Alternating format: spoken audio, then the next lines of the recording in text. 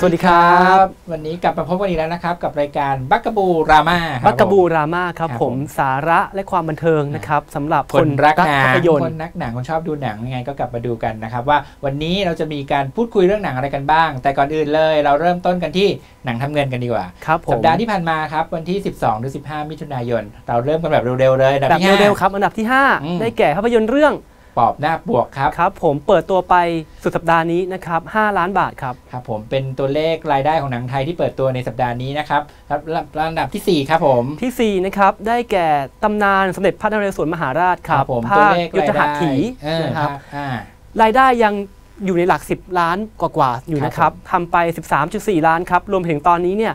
181 ล้านครับ มีลุ้นที่จะเข้าไปทำลายสถิติของ 2 ภาคแรกแล้วครับอืมครับผมสำหรับอันดับที่ 3 นะครับ เป็นหนังของทอมครูซนะฮะเรื่อง Edge of Tomorrow ครับ สัปดาห์ล่าสุดทำรายได้ไป 22 ล้านนะครับ รวมรวมแล้วตอนนี้อยู่ที่ 77.8 ล้านครับผม ซึ่งก็เป็นตัวเลขที่น่าจะใกล้เคียงนะครับ ในที่สุดอาจจะเกือบเกือบๆ100 ล้านนะครับนับว่าเป็นหนังที่ประสบความสำเร็จของทอมครูซในเมืองไทยครับ ก็ถือเป็นอีกเรื่องหนึ่งที่ทอมครูซกำลังทำรายได้ขึ้นมา แล้วก็เราเชื่อว่าคงอาจจะไม่ใช่ขาลงของทอมครูซกันแล้วเนาะอ่าครับผมครับอันดับต่อไปนะครับก็คืออันดับที่ 2 อันดับที่ะ2ครับเป็นหนังแอนิเมชันครับซึ่งซึ่งเมืองนอกคาดการณ์ว่าจะทำเงินสูงสุดของซัมเมอร์แต่ว่าเอ่อเท่าที่ดูตอนนี้ว่ามันอาจจะไม่ถึงแล้วล่ะเพราะว่าอาจจะมีลักษณะอะไรการแป๊กระหว่างทางนิดหน่อยภาพยนตร์เรื่องนี้ก็คือเรื่อง How to Train Your Dragon ภาค 2 ครับผมครับสุดสัปดาห์นี้นะครับทำเงินไปทั้งหมด 24 ล้านนะครับรวม sneak preview นะครับซึ่งเรา 2 คนไปตีตั๋วรอบนั้นพอดีไปกันมาแล้วนะนะครับครับรวมเป็น 27 ล้านนะครับซึ่งน่าสนใจมากเพราะว่า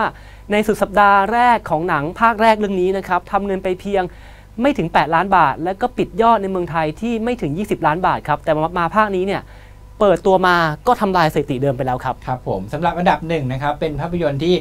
แฟนๆดิสนีย์ปราบปลื้มกันมาก แล้วก็แห่แหนกันมาดูกันเลยทีเดียว เรียกว่าเรียกแฟนดิสนีย์กันมา ครบครบกันกันเลยทีเดียวนะครับครบครันแล้วก็นะครับ คืออาจจะเป็นการเก็บยอดจากความสำเร็จของ Frozen ก็ได้ เพราะว่า Frozen แฟนดิสนีย์ก็เยอะมาก ก็เป็นการจุดกระแสทำให้คนรัก และครับ อยากดูแอนิเมชันมากขึ้นเขาตั้งนะชื่คอรับกันเลยครับจะไปดูคุณแม่กันนะฮะ สัปดาห์ที่ผ่านมาคนไปดูคุณแม่มาลีฮะ